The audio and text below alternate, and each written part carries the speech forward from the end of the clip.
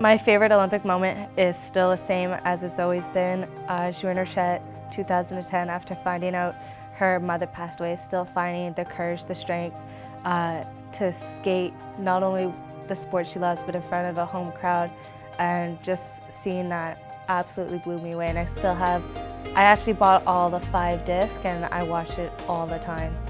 I actually also recently got a tattoo of the Maple Leaf just because I'm just so honored to represent my country and just getting to like even wear this Skate Canada shirt or wear that um, Olympic gear is such an honor. Not many people can say it and I'm 19 and by the time I'm 20 I will now be going to my second Olympic Games and just having that pride, that strength and knowing that your little dream as a little girl is now coming true, not once, but twice already.